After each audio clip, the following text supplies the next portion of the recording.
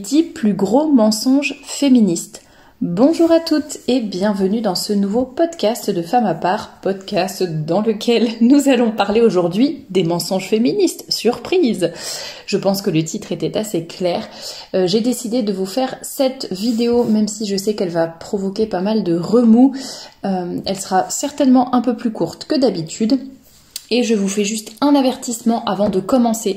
Je sais qu'il existe plusieurs mouvements féministes. Je sais qu'il y en a qui sont plus extrêmes que d'autres, que tous ne disent pas la même chose et n'ont pas les mêmes travers. Ceci étant dit, euh, je ne vais pas les distinguer dans ce podcast tout simplement parce que j'estime qu'ils ont tous la même racine, tous le même but, c'est la même idéologie qui est derrière. Je l'avais déjà expliqué dans d'autres podcasts, parfois il y a des choses plus extrêmes tout simplement et un peu absurdes qui sont là tout simplement pour vous faire ensuite avaler la pilule sur d'autres choses qui paraîtront moins absurdes et euh, même sur des courants qui sont peut-être moins extrêmes en apparence, et eh bien la racine du féminisme et du mouvement et de cette idéologie euh, est là. Donc de mon point de vue, ça ne change, euh, ça ne change pas grand-chose. Premier mensonge féministe. Le féminisme te rendra heureuse. Le féminisme est le seul moyen d'être heureuse. En dehors du féminisme, point de salut. Si tu n'es pas féministe, alors ça c'est que t'es idiote, ma pauvre dame, euh, soit c'est qu'en fait tu es sous le joug de l'oppression sans même t'en rendre compte, parce qu'en fait ça fait tellement longtemps euh, que, la femme a le cerveau lavé, n'est-ce pas, par le, patriarcat oppresseur, qu'elle ne se rend même plus compte qu'elle est oppressée. Donc heureusement que le féminisme est là pour lui rappeler et pour lui dire attention, ma pauvre dame, vous êtes oppressée, vous êtes malheureuse sans même vous en rendre compte. Voilà, pour moi ça c'est vraiment le, premier gros mensonge, c'est que le féminisme te rendra heureuse et que un peu le, le féminisme est la seule voie de salut, quoi. Donc déjà, euh, on part du principe que si tu n'adhères pas à cette idéologie, euh, tu es forcément, euh, bah, c'est ça, soit bête, soit t'as rien compris et, on ne peut plus rien pour toi. Euh, je vous, comment dire, je suis là pour contredire ce mensonge et vous dire qu'on peut être très heureuse sans être féministe du tout. c'est pas juste ah oui mais moi je suis pas dans les courants extrêmes, je sais pas quoi, je suis quand même heureuse, non vraiment pas féministe du tout du tout du tout et très heureuse donc premier mensonge désingué, si j'ose dire. Deuxième mensonge féministe, les hommes sont forcément tous mauvais et sont forcément tous des oppresseurs. Les femmes sont quasiment toutes des victimes. D'ailleurs, c'est un, peu incohérent, comme beaucoup de choses dans le féminisme, un petit peu incohérent avec leur... Euh, leur exaltation de la femme et le fait de dire que la femme est forte et indépendante et géniale. Et pourtant à côté en fait les femmes sont toutes des victimes ce que je trouve un petit peu bizarre. Dans beaucoup d'archives que l'on voit ou certains vieux films ont, euh, enfin archives d'interviews je veux dire qui, qui datent un petit peu notamment avec on en retrouve avec Lina. Moi je trouve qu'on au contraire ou même dans l'histoire tout simplement l'histoire de France ou l'histoire en général on a beaucoup d'exemples de femmes fortes euh, de femmes qui n'étaient pas du tout sous le de, l'oppression, de femmes qui ont fait preuve d'un courage sans limite dans des situations très difficiles, et pourtant, euh, et elles n'avaient pas besoin du féminisme pour cela. Euh, donc non, oui, alors bien sûr, il y a des femmes qui sont des victimes, il y a aussi des hommes, en fait, qui sont des victimes. Ça n'est pas que dans un sens. Euh, oui, Bien sûr, il y a des hommes qui sont mauvais et il y a des hommes qui sont oppresseurs. Ben, il y a aussi des femmes en fait qui sont mauvaises. L'homme tue et la femme rend fou, hein, d'après le titre du livre, n'est-ce pas Qui est très à propos. Euh, donc non, les hommes ne sont pas forcément tous euh, mauvais, ne sont pas forcément tous des oppresseurs. C'est un mensonge. Euh, selon les féministes, il faut se méfier de tous les hommes ou alors il faut profiter d'eux un maximum sans avoir de de, de penser, euh, ah, le mot me vient en anglais, pardon, euh, sans avoir d'arrière-pensée, par exemple, profiter de leur argent, puisque de toute façon les hommes nous oppressent depuis tellement de temps que nous pouvons bien les voler ou leur faire du mal, euh, et puis tant pis pour eux, puisque finalement, finalement, ce sont eux qui nous ont oppressés plus longtemps, n'est-ce pas? C'est un petit peu comme les affichettes des féministes en ville quand elles disent la peur va changer de camp ou ce genre de choses, ou qu'elles se permettent d'être très violentes et très virulentes dans leurs propos, ou alors même physiquement envers les puisque soi-disant ils l'ont mérité. Euh, voilà encore euh, un illogisme féministe. Troisième mensonge, être mère c'est mal, ou en tout cas ça doit être ta dernière priorité. Avoir des enfants doit être vraiment ton dernier recours dans la vie, n'est-ce pas? Euh, Il y a une énorme dévalorisation par les médias en général, mais aussi par les féminismes, de la maternité. Euh, j'en ai parlé récemment dans des podcasts. On assiste vraiment à un lavage de cerveau, comme quoi euh, avoir des enfants, c'est pas si bien que ça, comme quoi la plupart des mères regrettent euh, aujourd'hui d'être mère, comme quoi il y a aucun problème pour avoir des enfants à partir de 40 ans, à partir de 35 ans, pas de problème du tout. c'est nier tout simplement la la biologie, euh, et notamment par rapport au cycle féminin. La femme euh, n'est pas fertile toute sa vie, contrairement à l'homme, et vient un moment où arrive la ménopause, vient un moment aussi où par rapport à son âge, les grossesses peuvent être, pas systématiquement, mais peuvent être de plus en plus risquées, ou alors la femme peut tomber enceinte de plus en plus difficilement. Donc l'un des mensonges féministes consiste à dire que la maternité on s'en fiche que la maternité euh, doit passer en dernier et surtout après la carrière, que l'on peut être mère à tout âge quand on veut, peu importe, c'est à nous de choisir lorsque nous sommes prêtes. Eh bien non, c'est un mensonge et c'est, je trouve ça terrible de faire croire ça aux femmes qui ensuite arrivent à un certain âge, en tout cas pour celles qui veulent des enfants et qui ne peuvent plus en avoir. Euh, il y a énormément de mensonges également par rapport au fait de rester au foyer.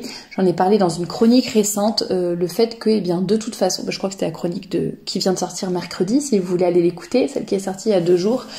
Euh, comme quoi en fait euh, le, quand on est au foyer on est forcément malheureuse euh, ou alors idiote. Ça c'est vraiment ça, c'est des arguments féministes et que si, si t'es heureuse au foyer ou si t'es heureuse avec une famille nombreuse, en fait c'est soit t'es idiote, soit t'es encore sous le joug de l'oppression sans t'en rendre compte, soit c'est que tu n'as rien compris, enfin en tout cas c'est il y, a rien de bon là-dedans et on ne peut pas être saine d'esprit, équilibrée, épanouie, heureuse et choisir d'avoir des enfants ou de rester au foyer.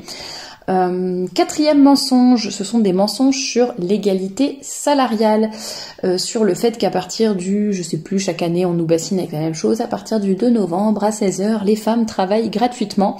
Il y a énormément de mensonges sur ce sujet. Il me semble que c'est Moss Mayorum et Valek aussi, je pense, qui avait fait des vidéos très très bien faites là-dessus avec tous les arguments, tous les chiffres, toutes les preuves, euh, etc. Donc n'hésitez pas à les, les, regarder, les écouter, vous obtiendrez des informations bien plus claires et précises que, ce que je pourrais vous donner ici. En tout cas, si le sujet vous intéresse, n'hésitez pas à creuser. Non, les femmes ne travaillent pas gratuitement. Euh, et les écarts ne sont pas de 20% ou je ne sais quoi, sinon vous imaginez bien que les chefs d'entreprise depuis bien longtemps n'embaucheraient que des femmes. Cinquième, puisqu'elle serait une main-d'œuvre beaucoup plus meilleur marché, dirons-nous. Cinquième mensonge, des mensonges sur les violences conjugales. Il semblerait que toutes les femmes soient victimes de violences conjugales en permanence. Euh, et euh, deuxième mensonge, or que évidemment il y a des vraies violences et des vraies agressions, mais qui vont déjà dans les deux sens.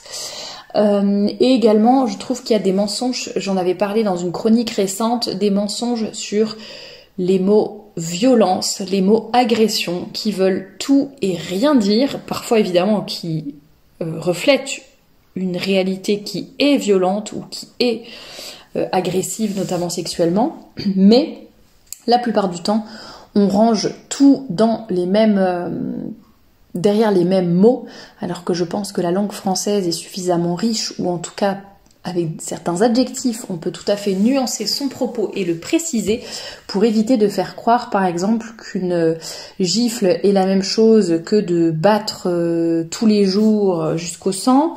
Euh, le fait de dire qu'un viol est, est la même chose soi-disant qu'une main aux fesses dans le métro.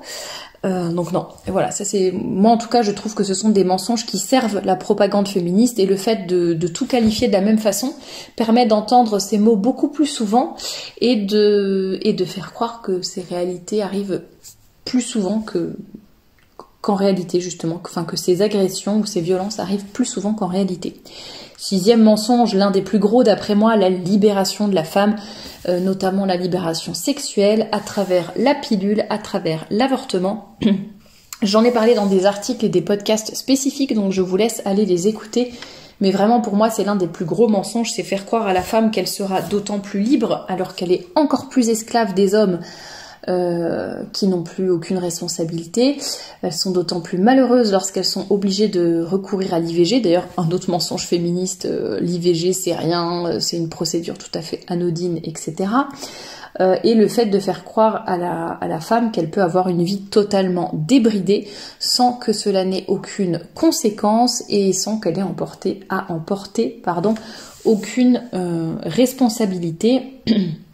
Il n'y a aucune limite à cette pseudo-libération. D'ailleurs, j'appelle ça très souvent une pseudo-libération puisque c'est vraiment un, mensonge et je vous invite à écouter les, les podcasts que j'avais déjà fait à ce propos.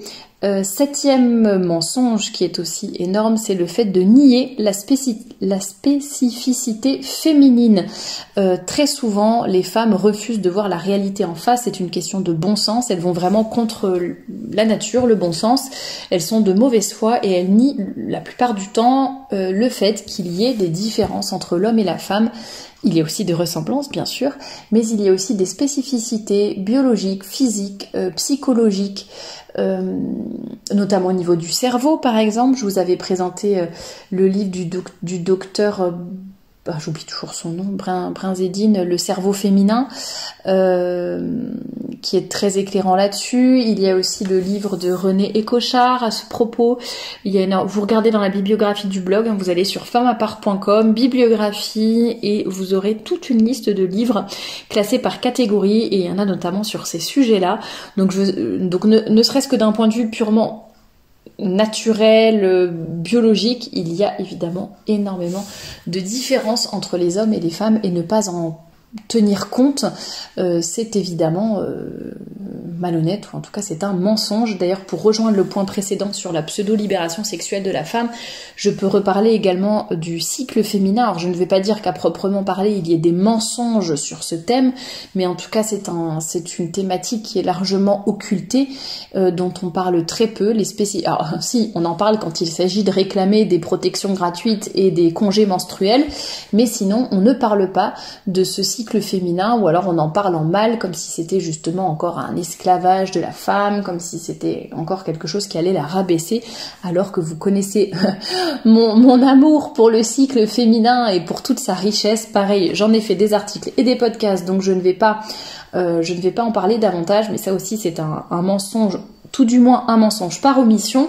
Et toujours dans ce, ce, point numéro 7, il y a aussi cette idée de euh, de faire détester les hommes, de vouloir faire enlever la galanterie par exemple, comme si c'était quelque chose de, mauvais, euh, et faire croire un petit peu que l'indépendance absolue de la femme est le but ultime. À la limite, elle peut avoir un homme dans sa vie un petit peu comme on aurait un chien ou un chat.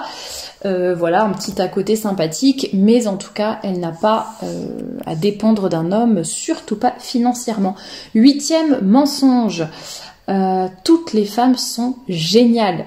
Elles, ne sont, elles sont responsables de tout ce qui est bien, mais elles ne sont coupables de rien de mal. Donc euh, j'en avais parlé aussi dans un article, euh, toutes les femmes qui se prennent pour des déesses, pour des reines, qui se mettent au-dessus de tout le monde. Les femmes sont indépendantes, les femmes sont euh, sont pleines de pouvoir, de puissance, les femmes sont géniales. À écouter les féministes, on a l'impression que les femmes sont vraiment euh, parfaites et irréprochables. Euh, s'il y a quelque chose de bien qui arrive, c'est grâce aux femmes. S'il y a des problèmes, etc., ah, ben, c'est surtout pas, elles ne prennent pas leurs responsabilités. C'est ça le problème derrière. J'en parle par exemple quand on parle des tenues vestimentaires, etc. Euh, elles sont toujours par exemple à se plaindre qu'elles sont réduites à des objets sexuels, mais après elles font tout pour se comporter comme si elles n'étaient qu'un corps et que et pour mettre en, avant leurs atouts féminins euh, sans y penser davantage. Donc je ne m'étale pas sur ce sujet-là, mais vous l'aurez compris évidemment c'est encore un mensonge féministe, tout comme le neuvième. Le neuvième mensonge féministe pour moi est cette fausse notion de liberté. Alors ça rejoint un petit peu le point sur la fausse libération de la femme, mais cette ce, mensonge féministe comme quoi la liberté, c'est de faire ce que tu veux, quand tu veux, sans en assumer les conséquences. Hein. c'est ce que je disais sur le fait que les femmes ne sont jamais responsables de rien, euh, les féministes tout du moins, euh, euh, et cette fausse notion de la liberté, Alors c'est d'autant plus un mensonge que, alors non seulement les féministes disent euh, tu peux faire ce que tu veux quand tu veux, euh, on s'en fiche, c'est ça la vraie liberté, donc ça déjà en soi c'est un mensonge, mais c'est d'autant plus un mensonge quand on sait qu'en fait tu fais ce que tu veux quand tu veux, mais il y a certaines choses, c'est un petit peu gênant que tu les fasses. J'en parle un peu plus en détail dans la chronique de, mercredi, justement, d'il y a deux jours, où ben, si tu veux rester au foyer, non mais c'est bien, hein, chaque femme fait ce qu'elle veut. Mais quand même, c'est quand même un mauvais choix de rester au foyer ou de d'être dépendante financièrement de ton mari ou d'avoir plus de deux enfants, etc., etc. Donc grosse hypocrisie féministe comme d'habitude. Et dixième et dernier mensonge, un minima, disons, si ça n'est pas un mensonge, c'est un minima de la malhonnêteté. Ce sont les quotas féministes que l'on voit partout, les quotas pour les membres du gouvernement, les quotas, bah, on en parlait dans la chronique de mercredi, euh, les quotas sur les personnalités préférées des Français, etc. Bref, euh, ces quotas partout qui sont pour moi un, mensonge ou en tout cas de la malhonnêteté, euh, c'est vraiment pousser les femmes à des ou, les, enfin bon, j'allais dire ou les hommes, mais dans l'autre sens, il y a beaucoup moins de quotas, euh, comme par hasard. Mais en tout cas, le fait de vouloir mettre des, des femmes là où ça les arrange, une fois de plus, c'est encore un mensonge puisque dans les postes prestigieux, il n'y a pas de problème, on veut faire 50-50. je sais pas, on n'a jamais entendu les féministes réclamer qu'il y ait 50% des boueurs femmes et 50% des boueurs hommes. Ça, on n'a jamais entendu. Donc, vous voyez, c'est encore un mensonge féministe. Voilà pour les 10 plus gros mensonges féministes. Si vous pensez à d'autres mensonges, il y en a certainement d'autres, n'hésitez pas à me les mettre en commentaire. Là, j'ai un peu essayé de, regrouper aussi par thématique parce qu'on ne peut pas tout dire, mais n'hésitez pas à compléter la liste. Ça peut être, très intéressant. Et euh, voilà, tout ça pour euh, vous dire avec ce podcast que les féministes sont bien évidemment coupés du réel et de la logique, ce qui est encore... Enfin bref, je ne sais pas quel est le plus grave, et euh, nous abreuvent de mensonges à longueur de temps. Comment peut-on les croire après ça? Comment peut-on penser qu'elles sont là pour l'égalité alors qu'elles sont là pour la supériorité des femmes? Ça c'est encore un mensonge. Et comment croire qu'elles sont là pour défendre les femmes alors qu'elles détestent les femmes et que tout ce qu'elles veulent c'est que les femmes ressemblent aux hommes puisqu'apparemment être une femme féminine Lorsque l'on est une femme féminine, on n'a pas vraiment de valeur et la seule chose qui peut nous donner de la valeur, c'est de faire tout comme les hommes, c'est de parler comme les hommes, c'est d'avoir les mêmes fonctions que les hommes, c'est de tout faire comme eux, c'est qu'il n'y ait aucune distinction entre les hommes et les femmes. Vous l'aurez compris, les, féministes n'aiment pas les femmes. N'hésitez pas à compléter en commentaire avec vos idées, vos arguments, euh, les, les, autres mensonges auxquels vous pourriez euh, penser. Et moi je vous dis à très bientôt pour un nouveau podcast.